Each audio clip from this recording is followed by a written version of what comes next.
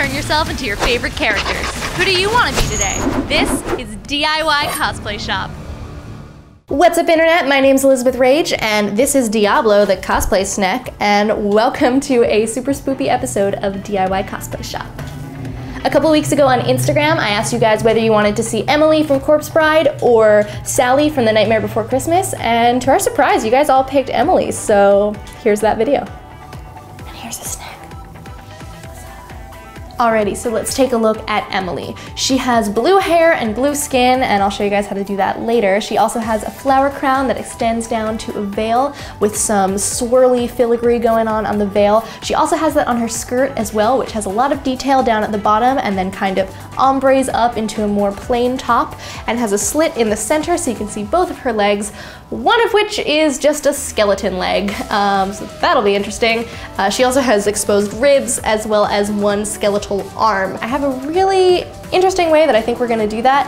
Um, it basically involves getting a me-sized skeleton from the Halloween store and um, taking that apart and adding it to my body. Basically, we are going to build a beautiful wedding dress and then just completely destroy it and kill it with fire, like probably actually fire. Like burning the edges is gonna give it a really cool effect, so Awesome, so let's start off with Emily's bodice, which is probably the most intricate part of the costume. Um, for this, I picked up a overbust longline corset from Amazon. You can make your own corset, but this is gonna speed the process along a lot, um, not having to bone the whole thing. Um, you do bone a corset. I'm not saying I'm gonna, okay. And then we're gonna be covering it in fabric to give it the right texture that it needs. After that, we're gonna go ahead and secure this corset together in the front. Um, and we need to cover these clasps and make sure that it won't come apart in the front pretty much ever. It's a little more tedious that way, but it's probably how this piece would have been made, and as well as will give you the right shape you need in the front. The first thing I'm gonna do is unlace this corset from the back. So now that our corset is unlaced, we're gonna go ahead and glue down the busk. I'm just gonna use hot glue for this um, because in the past it's always been super sturdy and really easy and accessible. Now that the front is glued together, I'm just gonna go ahead and flip it over and take a piece of heavyweight scrap fabric and glue it down right over the opening just to reinforce everything. You can use whatever you want for this, it's never gonna show. Be warned, hot glue is hot, and I get it on my fingers a lot.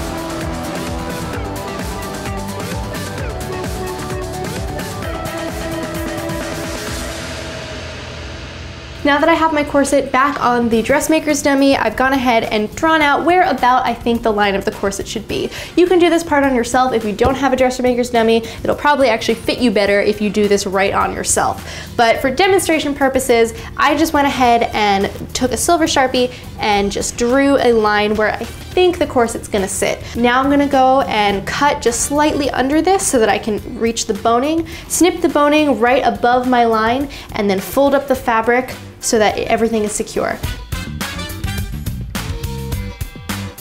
So as you can see, I have one side done here. I still need to go ahead and flip it over and glue down this fold right here, and then possibly add some fold over elastic as well, just to make sure the boning isn't cutting into me and is poking me in the side when I wear it. The steel boning is a little bit difficult to cut. I've had to use pliers to do that instead of my scissors, and also rest in peace my scissors when I thought this was plastic boning. I realized the best way to get the boning out is to just cut off the piece at the bottom first, then slide the boning out, cut it where I think it needs to be, and then go ahead and cut the rest of the fabric. This way you don't have to ruin your scissors even more by trying to get through the boning and the fabric at the same time. So now that both sides are cut, it's gonna look something like this. Still gotta try it on, but it took all of these pliers to cut this boning. Yeah, steel boning is no joke, guys. Also, it claimed the life of my dear zebra scissors. The spoopy cosplay episode has already claimed one life. Let's see if we all make it out alive. So I have one side all folded under and glued, and now I just have to do the other side.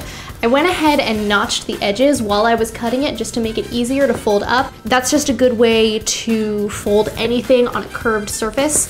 Um, by adding the notches, you'll have a lot more mobility of your fabric. So for this, I'm just gonna take my glue gun and I'm gonna go ahead and just start folding it to the Sharpie line that I drew earlier. Don't worry too much about having this be the straightest edge. Uh, Emily's corset is a little bit jagged and a little bit asymmetrical, so any imperfections are totally fine.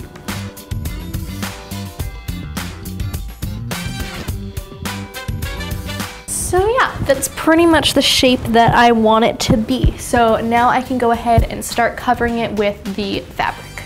So for this part, all I'm gonna do is uh, start tacking it down with hot glue. You wanna be really, really careful when you're doing this. Um, since this fabric is very see-through, we're going to see some of the hot glue possibly, so make sure you're using a either a newer hot glue gun or clear glue sticks. This way you don't have any yellow glue showing through yeah, so that's about it. I'm gonna go ahead and start gluing the first layer of fabric down. Since this is super see-through, I'm probably gonna do at least two layers of this. This part's totally optional, but I'm gonna add another layer of this fabric on top just so I can do more with it later when I start distressing it.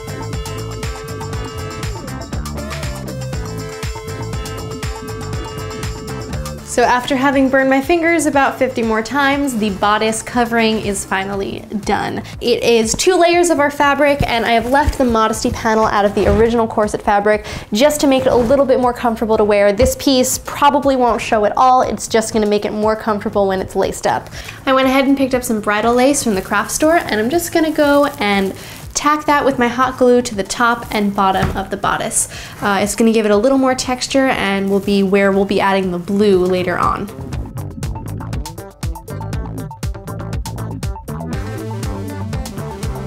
So the bodice is now, for the most part, done. It is lined on the inside so it won't be too scratchy and all of the fabric is securely glued in. Uh, there's appliques on the top and bottom. For as far as the normal version of this dress, bodice is done and I can put away this stupid glue gun that has maimed me like three times already. Next up is the veil. I found this really awesome curtain fabric in the fashion district that had a really nice swirly design on it that totally looks like her veil from the picture. Um, and this is gonna be super simple. I am not gonna do anything fancy. I'm just gonna use my handy dandy serger over here and just serge the edges so they don't fray at all. All that's really left at this point is to attach it to a flower crown, but I'm gonna do that when I style my wig. So I wanted to give the bodice a test fit before I went any further. I'm really liking how it looks so far. Uh, the, I think the applique trim gives it just enough touch of sparkle. Right now the corset is only about halfway laced up. You can see in the back it's not completely closed. We'll see how it looks when it's all tied together once I have the skirt on and that is gonna be our next step. For this, I'm probably just gonna go ahead and drape it on myself and use, I think I'm gonna use, end up using four panels for this skirt. Uh, there's a slit in the front, so I'm gonna leave it open here and let it tie in the front so I can easily adjust it every time I wear it. The skirt's gonna be longer in the back to give it that wedding dress train effect. So for the skirt, I took a piece of scrap fabric and made it a mock waistband, just measured it to my waist, and then drew out where I wanted each of the panels to stop. The waist is gonna be a little bit fitted. I might gather it just a little bit to give it a little bit more ruffle, but for the most part, the waist is gonna be super fitted and then this dress will flare out in the back into a train. The front pieces are gonna be straight in the front and then diagonal on the side.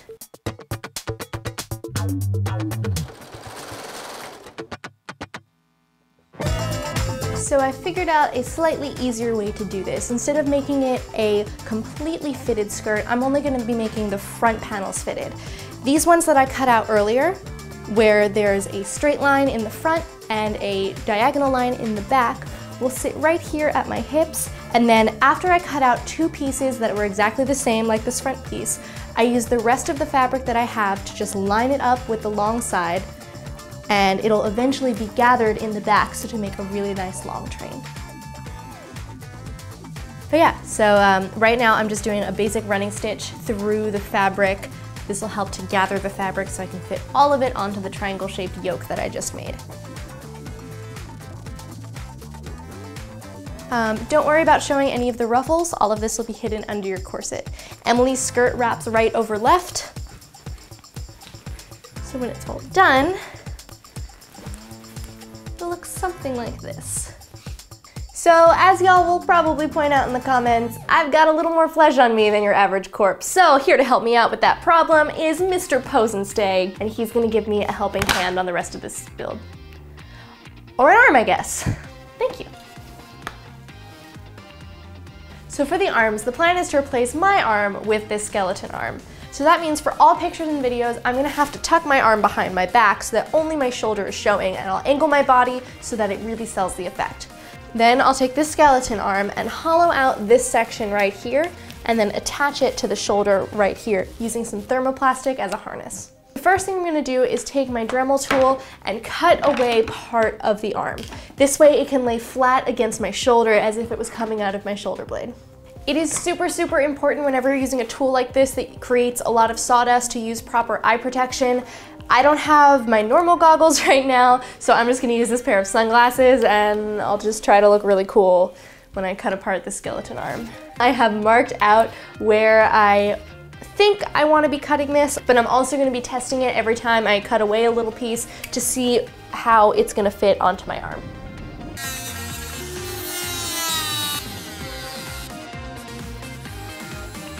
So pardon my casual Dora the Explorer cosplay, but I was afraid that the Worbla would stick to the fibers of my sweater, so I had to change my shirt.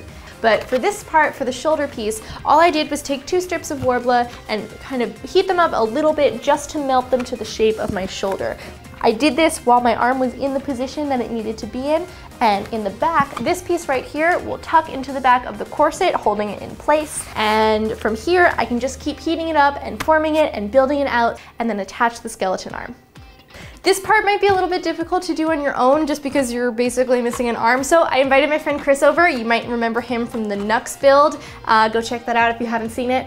And Chris is also gonna be helping me with my makeup, but he's gonna be my second pair of hands for this. So now that I have this in the shape I want, I'm just gonna keep adding Worbla pieces to the side until I have enough to mold on my skeleton arm.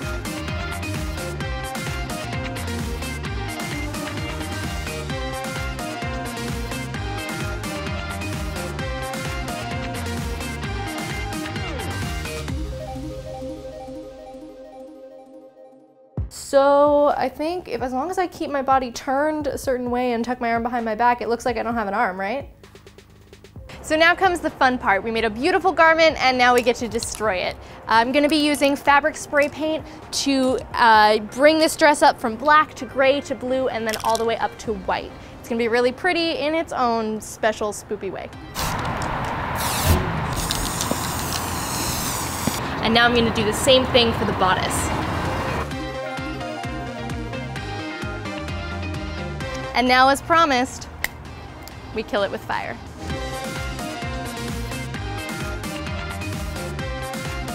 So now that my bodice is all painted, it's time to cut a big old hole in it. Right under the right boob, Emily has uh, some ribs showing, so we're gonna use some of the ribs from our skeleton friend, who now looks like that old lady from SpongeBob, who in the wheelchair, who really likes chocolate, you know, the chocolate. Yeah, that's, that's what this is now. But anyway, now it's time to just finish up the corset and then we're ready to get into makeup. I'm marking out a squiggly triangle under the right boob of the corset and then cutting out both layers of lace with my scissors and an X-Acto knife. Next I'll paint the corset black and a little bit of red using acrylic paint to give it some depth and to make it look like my flesh is just rotting away from my body. Super sexy, right? Then I'm going to further mutilate my skeleton friend and attach some of his ribs to the corset to complete the effect. Make sure to sand down the edges so you don't get poked.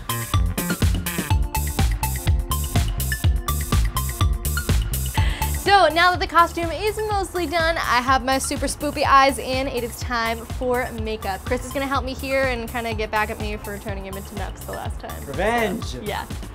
So um, let's get to it. Uh, what are you gonna do first? Um, I'm gonna start off by doing a darker blue in her eye sockets and also in all of her contour. Then after that, we're gonna go over the entire face in a lighter color, so it kind of just looks like everything is sunken in.